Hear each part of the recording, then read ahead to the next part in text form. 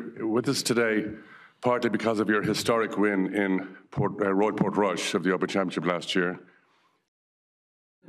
you know what I mean? Like to be the first Irishman to ever wear the green jacket would be pretty special. So that's kind of that's probably one of the only things that could could top it. And like, look, obviously, I, I'm very, you know, I've worked very hard all my life, and I've I've you know really put my mind down to it and and I achieved something very very special last year. And yes I probably won't ever um, top that but if it is it'll you know maybe be around here. I think you know to wear a green jacket would be just very very special. So um,